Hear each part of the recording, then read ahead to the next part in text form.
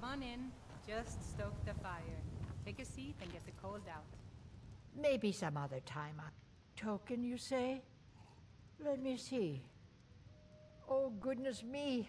You're a friend of Gabriella's, then. Well, I guess we both know why you're here. Hmm.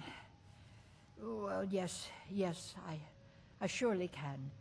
It, it's not something I do lightly, mind you, and it's, it's not as specific as you might want, but yes, I, I will do this for you. Please, relax. Free your mind. Yes, that's it. Your destiny is dark. Oh, yes, so dark. But much of it has been fulfilled. You have found sanctuary and the comforting words of a mother's love. And you have companionship, a child of night and a stalker of the sands. Together you are a family. Wait, there's something else. A potential for adventure and wealth. It is a ruin ripe for the plunder.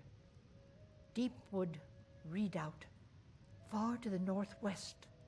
It is the last resting place of an assassin of old. A dark brother who bequeaths his ancient earthly possessions to you.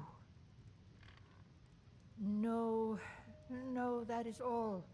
Now, now, please. I find myself very weary all of a sudden.